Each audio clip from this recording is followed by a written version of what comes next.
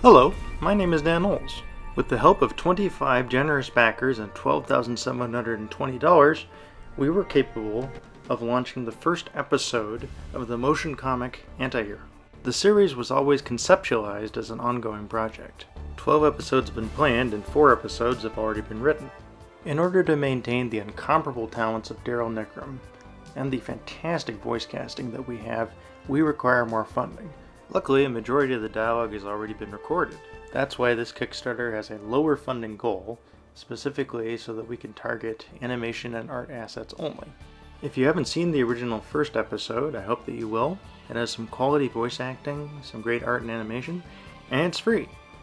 To help us keep this up, we hope that we can ask for your support in this second episode. Pledge if you can, share the series with someone you think that might be interested.